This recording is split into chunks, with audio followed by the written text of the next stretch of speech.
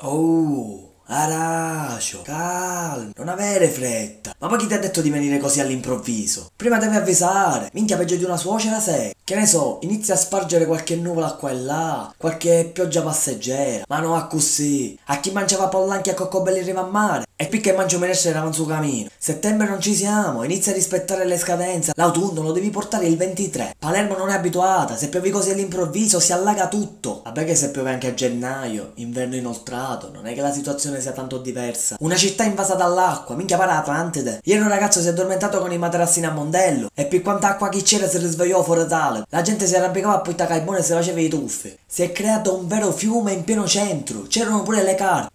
Certo, i caipaffoimi succi, succe tante però.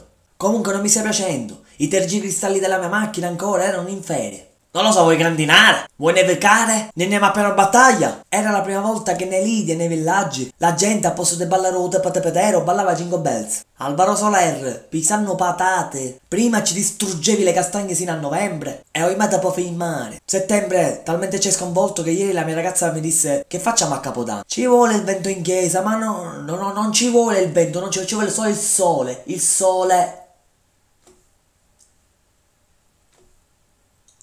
Ieri sono uscito dalla macchina per entrare in un bar e mi sono talmente bagnato che l'amico mio per salutare mi si è messa la maschera con tubo. Fradicio. La cosa bella è che quando chiesi al barista un caffè, lui mi rispose con un bicchiere d'acqua, no, non ti preoccupare, ma la suo con la maglietta.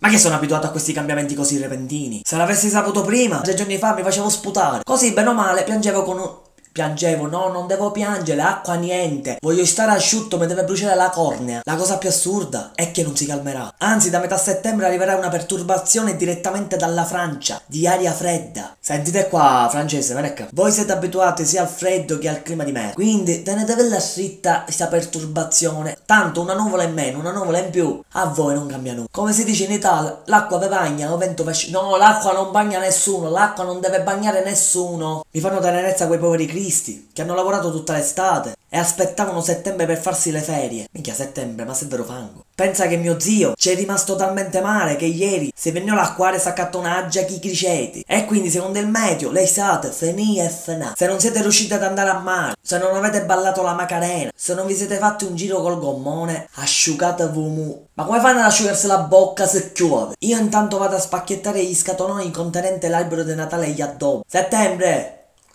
Ma bagagacciami. Boom, shakalaka, here comes the chief like a smoke good with T-Pain and Snoop Dogg. Jingle bells, jingle bells, jingle all the way. Vaffanculo, settembre ci scasso i zebedee. Non devo piangere, non devo piangere, devo rimanere asciutto, asciutto, asciutto.